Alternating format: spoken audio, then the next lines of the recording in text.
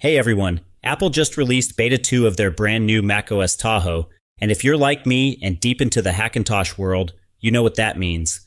With every beta, some things just might break.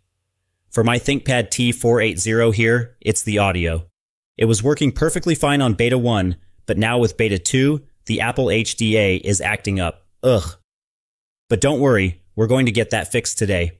A huge shout out to Max, 1974, from Insanely Mac for finding a solution using Voodoo HDA. First things first, head down to the description box and download the zipped file. I've saved it right on my desktop for easy access. Once it's downloaded, just double click the file to extract it. Inside, you'll find a few files that are going to help patch your system and get your audio working again. Then simply run the Hackintosh and Beyond app. This will open a terminal window and do its magic. Once it's done, you can just close it out. Now you'll see the Voodoo HDA package file. Double-click that to start the installation process. Just follow the on-screen prompts. It's a pretty straightforward setup. When it asks, go ahead and enter your administrator password. This will install Voodoo HDA onto your Mac, including all the necessary system extensions. Once the installation is complete, you can close the installer window. Open up your favorite Plist editor. I'll be using OCAT for this demonstration. First, we need to mount your EFI partition. So in OCAT, select the correct partition where your EFI is located and go ahead and mount it up.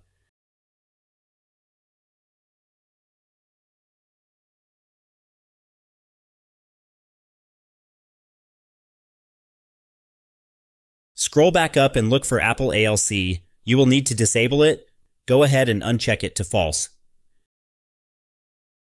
The do a quick search above for the CSR config.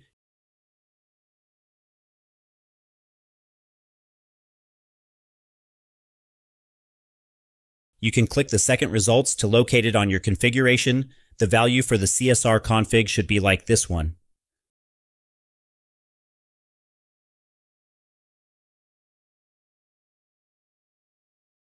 On your boot argument, if you have something like ALCID, remove it from there.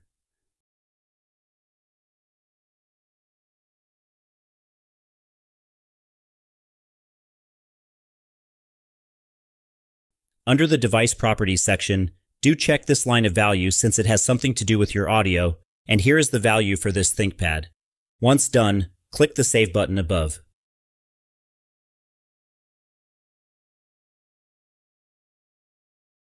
Now we're going to hop into your system settings. Once that's open, navigate to the Privacy and Security section. Go ahead and scroll down a bit. First, just double check to make sure your file vault is turned off. This is pretty important for Hackintoshes. Just above File Vault, you should now see an Allow button, specifically for Voodoo HDA. Go ahead and click that. It'll prompt you to reboot your computer afterwards, so go ahead and restart when it asks. This reboot is crucial for the changes to take effect. Alright, once you're back on your desktop, go ahead and open up System Settings again. This time, scroll all the way down and you should see a brand new section for Voodoo HDA. If you followed all the steps correctly, it should say Loaded right at the top. From these settings, you can use the drop-down menus to select your available output or input devices. For now, I'm just going to leave all the settings at their default values, but feel free to calibrate them to your own preferences. Now let's jump up to the control center and check out the sound menu. As you can see, those audio sliders are now fully adjustable, which is a fantastic sign that our audio is finally functional again. And back in system settings, we can also now see all those available input and output devices that were completely missing just a little while ago.